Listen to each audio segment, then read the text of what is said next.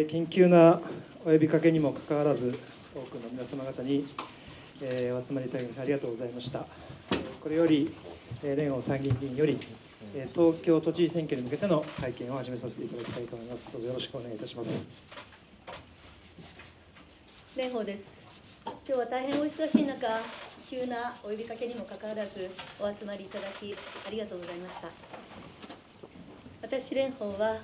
この夏予定されている東京都知事選挙に立候補いたします。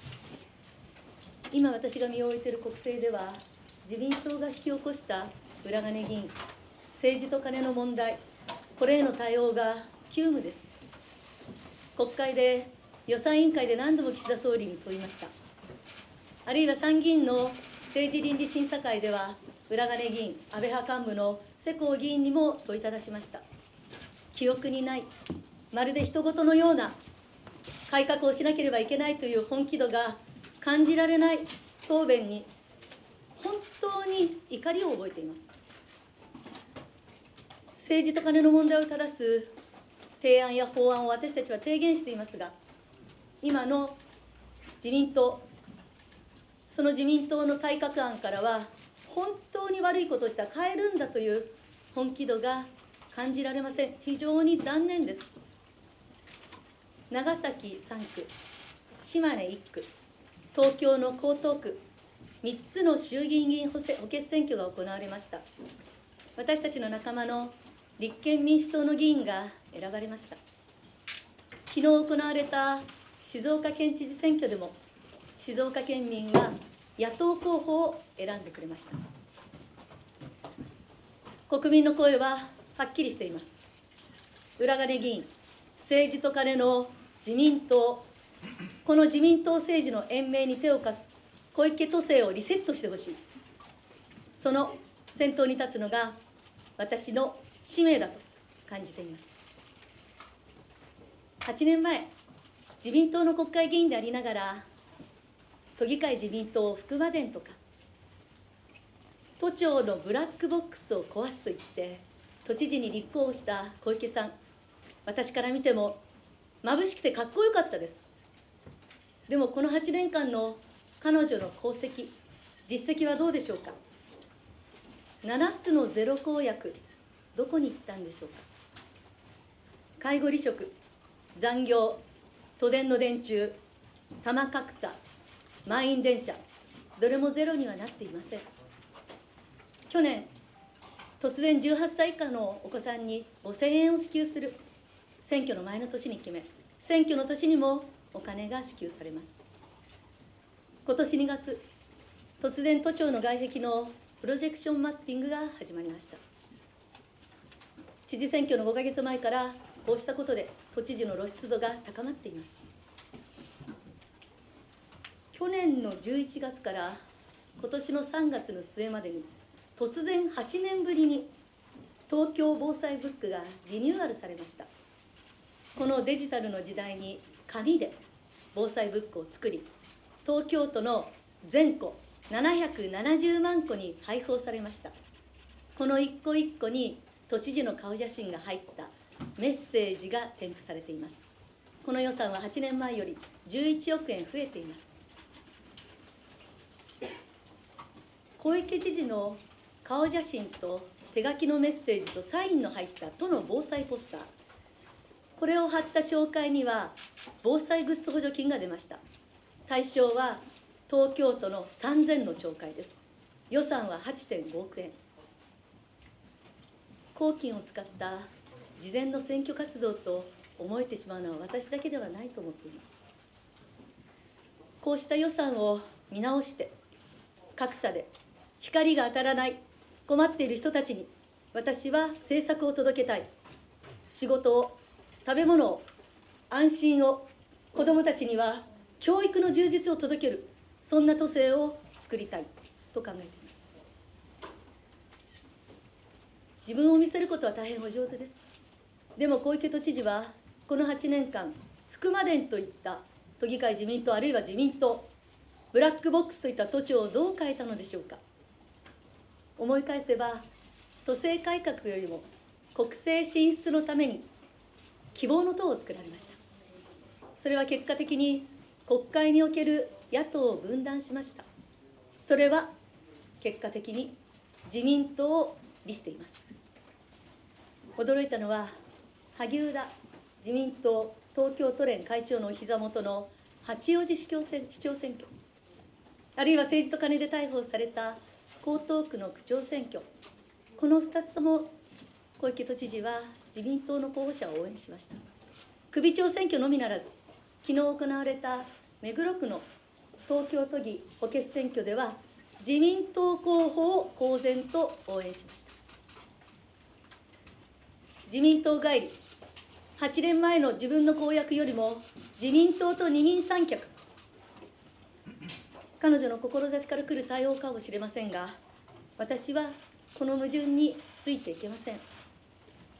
発信力存在感選挙の強さどれをとっても圧巻している人です。大きい人だと思っています。ただこうした変わり変わり身の速さに私はついていけません。この分かりにくさを小池都政をリセットするために私は立ちます。もう一度言います。2016年の7つのゼロ。この公約はどこに行ったのか。この他にも12のゼロを公約として掲げてました。原発ゼロブラック企業ゼロ隠蔽ゼロ。どこに行ったんでしょうか。今は小池都知事から公約ゼロの声は聞こえません。その代わりに突然思いついたかのような政策ばかりが私には印象に残っています。小池都知事が手を挙げるのであれば一緒に戦うのであればこの8年間のご自身が口にした公約についての説明を私は聞いてみたいと思っています。参戦出馬するのであれば自民党帰り自民党と一緒に行動していることを何と説明するのか私は聞いてみたいと思います。私は一貫しています。裏金議員政治と金の自民党絶対に許しません。納税者の気持ち。誰よりも考えなければいけない。都民の思いに寄り添いたいと思っています。反自民党政治。非小池都政。私は東京都知事選にこの姿勢で臨みたいと思います。古い政治と決別して本当に必要な政策に予算を振り向ける。そんな都政を作りたいと思っています。この8年間を都民に問わせていただきたい。小池都政をリセットする夏。そんな東京都知事選挙に臨みたいと思います。20年間の国政での経験。すべての予算委員会で質問に立ってきました。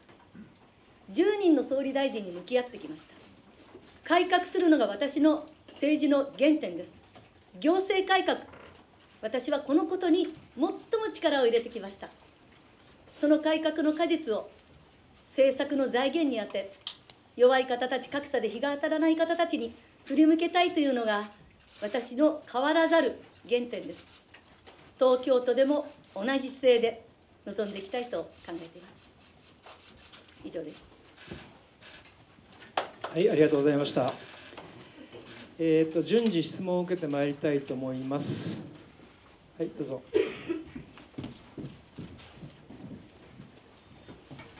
ニコニコ動画の七尾です。よろしくお願いします。あの冒頭お話ございましたが、確認させてください。あの都知事選のですね、今回の結果によってですね、政権交代の機運が大きく左右されると思います。え全国的に波及されるする可能性もあります。この点はどうお考えでしょうか？あのそれだけ大きな首都の戦いだとは思いますけれども、まずは私は都知事に挑戦する立場です。それがどういう結果になってどのような動きになるのかは今の私からはちょっと分かりません。その次も杉さん。あのアークタイムズの尾形と申します。アークタイムズの尾形と言います。3点伺いたいんですけれどもまずですね、まあ、小池さんの話を蓮舫さん今されてましたけれども小池知事にとって今、まあ、いろんな形で国民の間で話題になっているのは学歴詐称があるんじゃないかという点だと思います。その点について小池氏は会見などで自分がカイロ大学を出たのはファクトであるという言い方とあとカイロ大学が2020年に出した声明というのはあれはカイロ大が主体的に意思を持って出したというこの2点を言ってるだけなんですけれども具体的にお聞きしたいのは小池氏がですね仮に今言われているのは小池氏は出ていると言ってもですねきちんと単位を取って出たのではなくて事後においてカイロ大学がいわゆる名誉学位のような形で授与したんじゃないかということが言われています。もしそのそこに該当する場合は蓮舫さんは小池氏のカイロ大卒というのは実態があると実態がないとそこをどう考えるか。これが1点目でもう1点目がですねあ2点目がその先ほど裏金政治と決別するという話をされていて小池都政が続く限りその存続に延命にその手を貸しているということですけれども今回の都議会あ都都知事選挙ですねこの最大の争点というのはこれは自民党のやその都民ファースト小池知事と野党勢力との対峙になるのかそこが一番の対立対立軸というふうに考えているか。それと3点目具体的な論点で外苑の再開発の話がありますけどこれにどう対処されるか。そして小池知事がやっている朝鮮人虐殺のコメントを送付しないと。関東大震災の際際のですね。歴代の知事がやったものですけれどもこれについてはレオンさんはどうするお考えか。それをお聞かせください。えー、っとですね。あの私も文言春秋は読ませていただきました。あおそらく多くの読者が感じたような高い信憑性があるんじゃないかなという感想は抱いています。ただご本人の学歴のことですから私からどうこういう立場ではないと思いますので選挙に出るのであればそれは当然プロフィールも含めてご本人が説明しなければいけないと思っています。で2つ目の明治神宮開園再開発の問題ですが私はこれは選挙後に先送りをしてはいけないと思っています。やっぱり多くの方たち坂本龍一さんをはじめとした著名な方も含めてね異を唱えておられます。で事業者側からその伐採に関する報告を求めていますけれどもなぜ、えー、小池さんはもっと早く迅速にその報告を出すように言わないのかがちょっと分かりません。早く出させるべきです。そしてその出た答えは都民や多くの皆様方に公開をしてもう一度声を聞いて都政都知事としての判断をするべきだと思っています。で3点目の朝鮮人の虐殺の件ですけれどもこれも大変大きな課題だと思っています。これはあ公約をするときにぜひ皆さんにお伝えしたいと思います。2点目の最大の争点はその裏金の決別なのか最大の争点は何何だと考えてますか？うん。最大の争点、まあ、争点いくつもあるとは思うんですけど私はやっぱりこの3つの補欠選挙静岡県知事選挙を見ても自民党政治の政治と金の体質に対して大きな怒りの声があると思っています。私は自民党政治を一旦終わらせなければいけないと思っているその自民党と決別すると言って8年経ったら変節をして自民党帰りをしている小池さんでは私は改革はできないと思っています。一つだけフォローアップで小池さんの学歴詐称のところでそれが単位を取って学業実態がないものであった場合はそれは卒業とみなすべきではないというふうに考えますか？うんごめんなさい家庭の話なのでちょっと今の私の立場からはここまでどうだというのは控えさせていただけますか？えっと、東京新聞の望月です。いくつかお聞きします。まあ、神宮外苑の再開発ですね。昨年、まあ、亡くなる直前声が出せない状態で文化庁長官や小池都知事に坂本龍一さんがもう一度見直してほしいと送り、ま、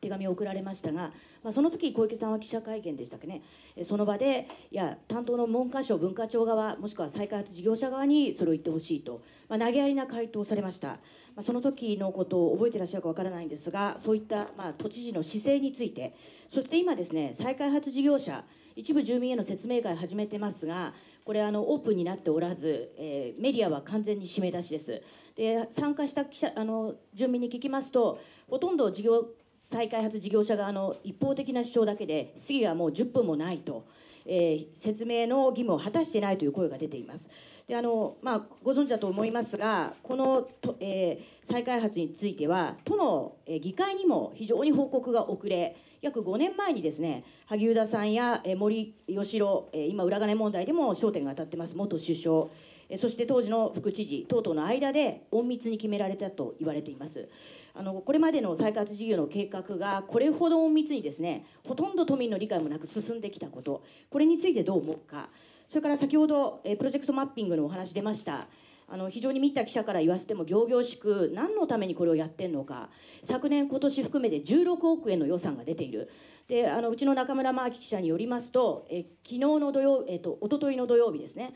えー、炊き出しに800人あの行々しいプロジェクトマッピングの下で、えー、800人もの炊き出しの、えー、支援を求める人たちが並んだと過去最大ということですこのプロジェクトマッピングやるべきではないという声エクスションにたくさん溢れてますが今の時点で、えー、どうお感じかということですね。えそして、まあ、最大のここなんですが記者会見の在り方です記者クラブの改革開放を掲げ2016年小島、え元都民ファの事務総長によりますと、まあ、多くの、え今日いらっしゃってるようなたくさんのフリーランス含めた記者を、まあ、入れるようにしたと、え情報開示、え改革開放の一丁目一番地と言いながらさまざまなことが隠密になり今、えコロナ禍を理由にですね完全にフリーランスはあの会見場から締め出されています。でその結果としてが分かりませんが今日ここにたくさんの都庁クラブの記者さんいますが彼女に対する厳しい質問がほとんどこの数週間ないです。え経歴詐称については、えマスメディアはほとんど報じていませんととはいえ YouTube 上でこの経歴詐称についてさまざまな論点で、え彼女が説明責任を果たしていないということが言われております。この記者クラブの在り方ですね。今の都庁の記者クラブの会見もしかして蓮舫さんお忙しくて見られてないかもしれません。ご自身が都知事になった場合どういった記者クラブ、まあ、今日のようなこういう状況と比べてもですね非常に閉鎖的な記者クラブの会見にとどまっている。そして記者も本当は聞きたくても厳しい質問が彼女にできなくなっている、まあ、この状況をですね蓮舫さんの目から見てどう都知事になった場合変えていきたいかそこら辺をお願いいたします。はい。あの神宮外苑特に坂本さんが本当にあの思いを持って訴えたあ様子は今でもよく覚えています。あの時の都知事の対応は寄り添っていないなという印象しか残っていません。非常に残念でした。で2点目の住民への説明会ですが、まあ、事業者が民間さんであられるので全部公開というのは難しいかもしれません。ただあどういう質疑がなされたかどういう説明をどういう資料を使って伝えたか住民側からはどんな質問が出たのかという概要とか資料は公開して当たり前だと思っています。で3つ目のプロジェクションマッピングなんですけれども私これやるやらないも含めてやっぱり一度この夏都知事選挙で問う一つの事例にもなるんだと思っています。例えば通年通じてやるべきものなのかあるいはクリスマスだけやるのか、ね、その浮いた予算で炊き出しであったり困っている人たちに対する予算政策に回すことはできないんだろうか。これは当然都知事選挙では彼女の政策ですから私は争点の一つとして問わせていただきたいと思っています。会見の在り方はそのどうしても映像で見ると都知事が映ってるものですから記者さん側が私には見えないんですね。ただおっしゃる通りそのうんと旬な質問とか都知事に対して違う角度からのあ声というのはないなとは思っていたのがそういう理由なんだなと今気づいたんですけれどもあの私たちが政権を持っていた時にはあ会見はこうしてフリーランスの方も雑誌雑協の方たちも記者クラブの方たちも入っていただきました。それは時としてきつい時もありました。政権にとっていい時ばかりじゃありませんからそれでもそれも恋だと思って受け止めていたので都知事の会見は見直すべきだと思っています。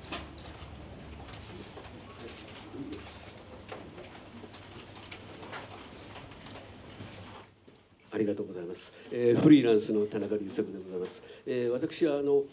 あの小池都政による巨額の無駄遣いについて質問させていただきます。あの今あの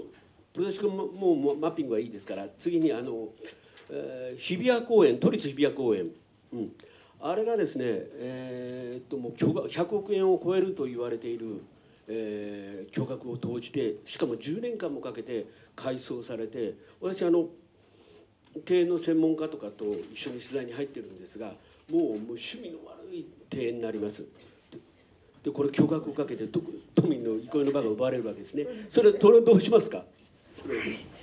あのすみませんあの趣味がどうかっていうのはそこまで私関心をまだ寄せていなかったんですがあの今日とまた日を改めて私の都知事選の公約を皆さんにお伝えとご説明をさせていただきますが当然その時に一般会計だけで8.5兆の都の財政すべての事業に関して皆さんに私の行革の本気度はお示しをしたいと思います。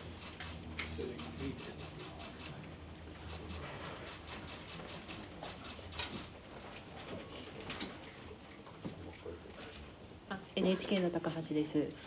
山本さんはあの所属されているのは立憲民主党ですけれども、都知事選にはどのような形であの立候補されるのか教えていただければと思います。またあの他のその政党からの支援についてはどのように考えていらっしゃるのか教えてください。はいあの広範な都民の皆様方のご支援をいただきたいので無所属で臨みます。えっ、と政党からの支援に関しては受けない。あの今、都知事選定委員会で、えー都知事候補という話があってあいくつか強い要請をこれまでもいただいてきてそれが私の判断の一つになっていることもありますでこれまでのその築いてきた信頼関係は基本ベースなんですけれどもあのより幅広い支援をいただくべく、まあ、反自民政治非小池都政オール東京の皆さんに、えー支援していただいて臨んでいきたいと思います。ありがとうございます。またあの参議院議員を辞職することになられると思うんですけれども、これはいつでしょうか？はい、あのそれはあの都の執行部と党の執行部と、えー相談していきます。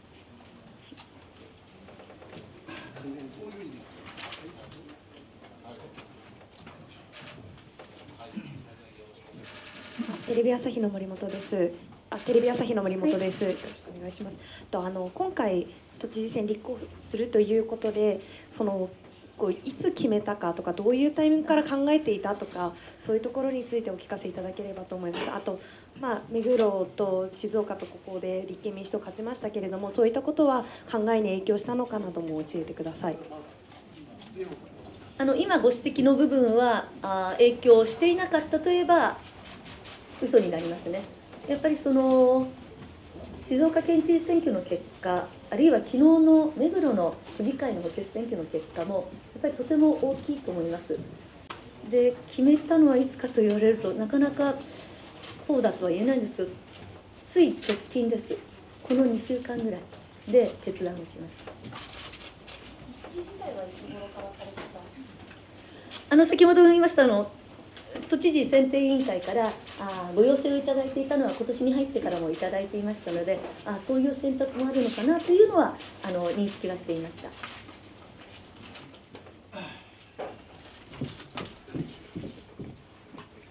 よろしくお願いします。あの週刊清美などに記事を書いているフリーランスジャーナリストの本田正和と言います。あのズバリお伺いしますが、あの先ほどの非自民全野党ということもおっしゃったんですけれども、なんだかんだ言ってもあまたの候補者の中でやはりああいうふうにあの小池さんが泰然としていらっしゃるのはご自分のことを、まあ、パフォーマンスもうまい方ですから一強だと思っておられるからだと思います。でそこに蓮舫さんという強い対抗馬が現れた時にですねやはりきちっとごして野党共闘をやったやって共産党も含めた野党共闘をやれば、ややらなければやっぱりえーごして勝てないんじゃないかと私は思ってるんですけども野党共闘に対するそのもちろん立憲民主党だけじゃなくて野党共闘全体に対する考え方を改めて聞かせてください。あの私は都知事をやりたいと強く思っています。この8年間をリセットしなければいけないと思っています。自民党政治を終わらせなければいけないと思っています。その部分では一人でも多くの広範な都民の皆様方のご支援をいただければとそれはだから今おっしゃったような方たちとの信頼関係はもちろん大事にしていきたいと思いますしそれよりも何よりもやっぱりその非自民あ反自民党政治非小池都政のオール東京そこに共鳴してくださる方々一人でも多くの皆さんの支援はいただきたいと思っています。えーっと次それこそおレオさん次のですね、え予定がありますのであと2方お二方だけじゃあ。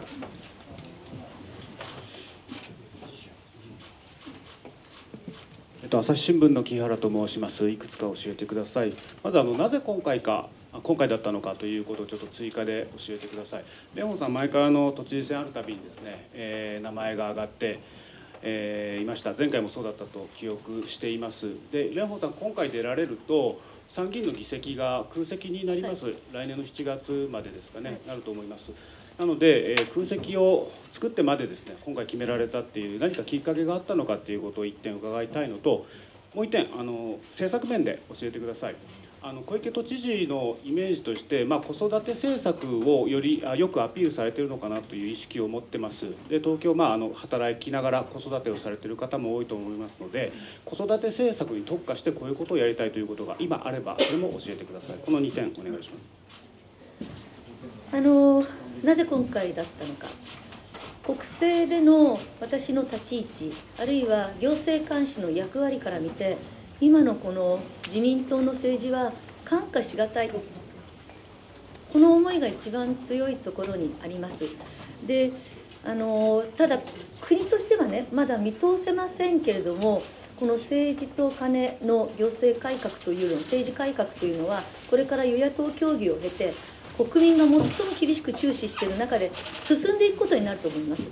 だけども足元の首都東京参議院の東京選挙区の私からしてみたら実は東京にも行財政改革しなければいけない。もっともっと予算の見直しをしなければいけないお金の在り方があることを見つけました。これは公約であ皆様方に後ほど日を改めてお伝えすることになりますが東京だけが改革から遅れてはいけないと思っています。その部分で今回都知事になって都政から変えたい。それが結果として国政にも影響が出るような政策を実現していきたいと思ったことが大きな理由です。で2つ目の少子化対策。75万人になったんですよね。1年間に生まれる赤ちゃんが。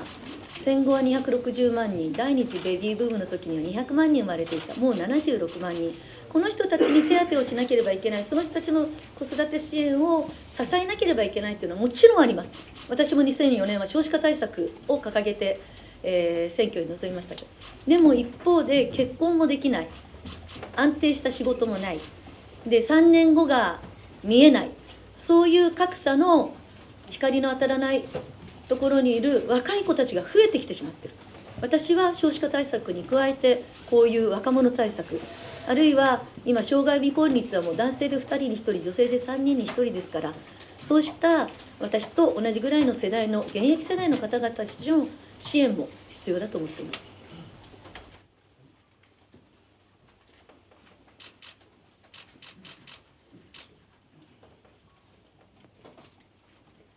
あのひと一月万冊の佐藤明と申しますがあの先ほど出たですねその小池さんの学歴詐称の問題ですけども今ですねその学歴詐称文春に書かれただけではなくて、えー、その選挙広報の、えー、経歴に書けばですね刑事告発するというふうに小島敏夫さんはですねおっしゃってるんでですねやはりそういうことに関して、えー、その対抗して出られるのでありますからやはりそこでやっぱ発言はねやっぱりしっかりとすべきじゃないかと思うんですね。えー、つまり我々ジャーナリストもですねそれはしっかり見て発言しているわけなんですよ。それと同じように蓮舫さんはどう考えられるのかですねそれをぜひお伺いしたいと思うんですね。つまり蓮舫さんのお考えをですねということをお願いしたいと思います。それからもう一点はですね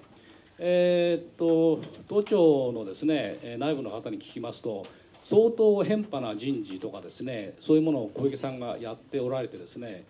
えー、まあ、都庁の皆さんはですね早く小池さんに去っていただきたいと、え、という声がものすごく多いそうなんですね。まあ、そういうことに関して蓮舫さんの耳に届いておられるのかですね、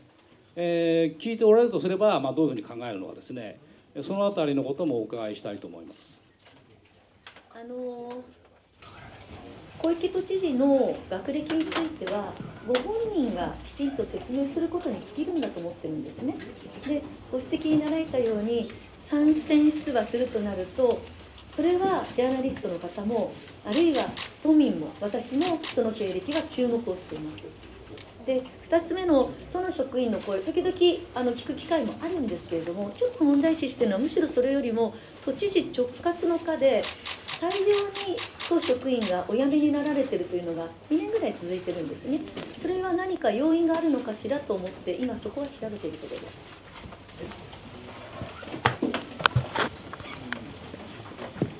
すみません、いつまでもご質問を受けていたいんですが、今後の日程がありますので、今日はこれで、えー静岡県知事選について一言最後の一押しになったということなんで、一言なんで、静岡県知事選についていやさ最後の一押しになったということですよね。さっきあの言ってますよね、それね。あの最後の一押しというか、あの判断する中の一つの材料ではありますけれども、静岡県民がやっぱり野党候補を選んでくださったというのは、それだけ今の自民党政治に対する強い怒りの声があるんだと思っています。その声に私は反響しています。ごめんなさい、ありがとうございました。